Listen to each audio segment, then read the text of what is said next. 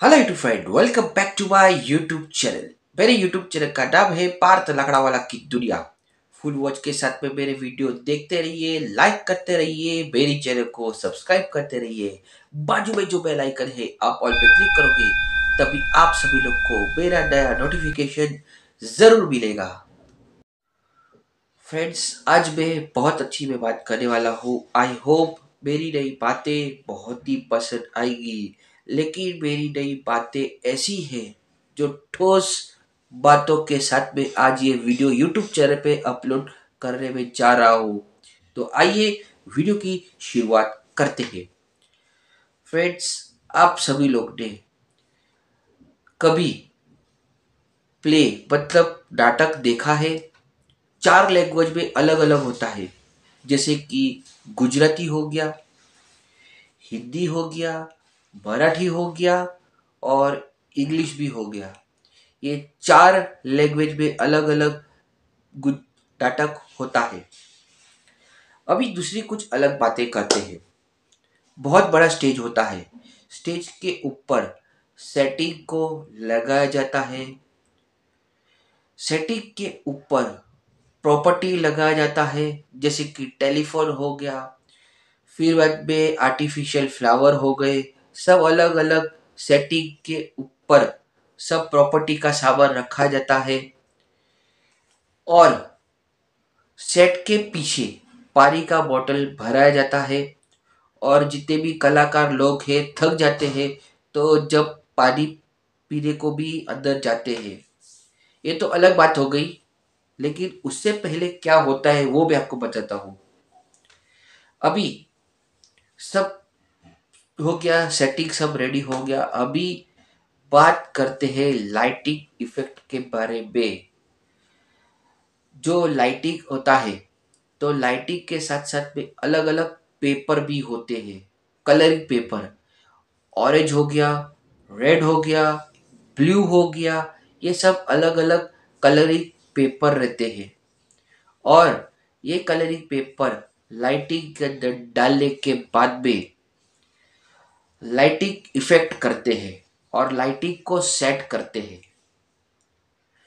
और ये सब सेट करने के बाद में जो कैरेक्टर रहते हैं तो कैरेक्टर के साथ साथ में कौन कौन से अलग अलग जो कैरेक्टर है, उसके ऊपर एक्सप्रेशन मतलब हिंदी में उसको बोलते हैं हास्य रस करुण रस विभिता रस ये सब अलग अलग रस के प्रकार है।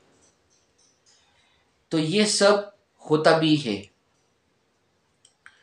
और दूसरी में बात करूँ, ये सब लाइटिंग हो जाने के बाद में म्यूज़िक के बारे में बात करते हैं।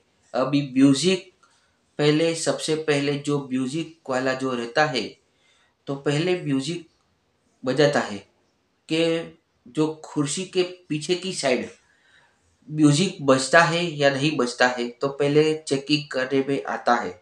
बाइक सिस्टम को भी पहले चेकिंग करने में आता है कि बाइक का आवाज़ आता है या नहीं आता है। ये सब फाइनल हो जाने के बाद में कटन को बंद किया जाता है और कटन को बंद करने के बाद में जितने भी कलाकार लोग हैं कॉस्ट्यूम के साथ में रेडी हो जाते हैं और पूजा की जो थाली है वो रेडी की जाती है और फिर बाद में स्टेज के ऊपर गणपति जी का मूर्ति रखा जाता है और स्टेज के ऊपर स्वस्तिक की पूजा की जाती है। डायल के ऊपर स्वस्तिक की पूजा की जाती है, अगरबत्ती जला जाता है और प्रार्थना कौन सी होती है? आगिकम भुवनम, यस्य वाचिकम सर्ववाग्भयम् आहार्यं चन्द्रताराद्वी त्वं नमः सात्विकं शिवं त्वं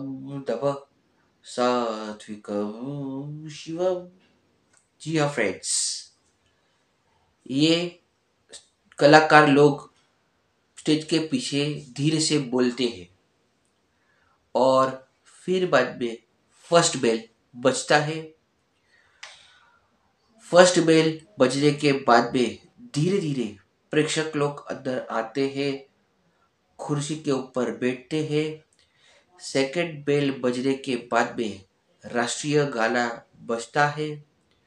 ये सब प्रोग्राम खत्म हो जाने के बाद में नाटक की शुरुआत होती है थर्ड बिल से।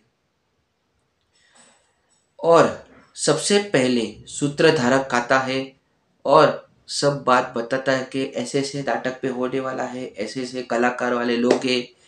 और फिर बाद में कर्टन खुलता है धीरे धीरे कलाकार लोग अंदर आते हैं और अलग अलग कॉमेडी प्रस्तुत के साथ में नाटक को भी एंजॉय करते प्रेक्षक लोग। और एक बात मैं बोलने वाला हूँ, जब नाटक खत्म हो जाता है, तभी जितने भी प्रेक्षक लोग हैं, वो तो चले जाते हैं, लेकिन जो कलाकार वाले लोग हैं तो उन लोग मेकअप को कैसे निकालते हैं? क्रीम या ऑयल से, कोकोनट ऑयल से मेकअप को निकाला जाता है। जी हाँ फ्रेंड्स आज ये जो मैंने बात बताई है, ये थी पर्दे के पीछे की सच्चाई की कहानी और नाटक के बारे में। सो यूट्यूब फ्रेंड्स आप सभी लोग को मेरी नई बातें और नाटक के बारे में जो पहली बार ये वीडियो यूट्यूब चैनल पे जो मैं अपलोड करने जा रहा हूँ, आप सभी लोग को कैसा लगा? कमेंट बॉक्स में कमेंट करते रहिए। मिलता हूँ वीडियो पे न्यू ब्लॉग पे, तब तक के लिए thank you and take care to of you like और सब्सक्राइब करते रहिए और भी नए नए ब्लॉग वीडियो यूट्यूब चैनल पे अपलोड होना बाकी है। Thanks for watching bye friends Thank you.